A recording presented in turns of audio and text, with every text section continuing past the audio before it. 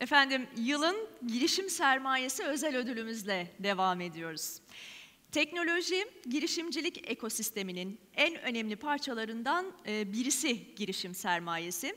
Girişimlere sağladıkları finans kaynağıyla onların hızlı bir şekilde başarıya gitmelerindeki belki de en önemli güç diyebiliriz. Sadece yatırım yaparak kalmayan, Ayrıca yönetim anlayışıyla yatırım yaptığı şirketlere önemli katkı sağlayan bir girişim sermayesi şirketine gidecek ödülümüz.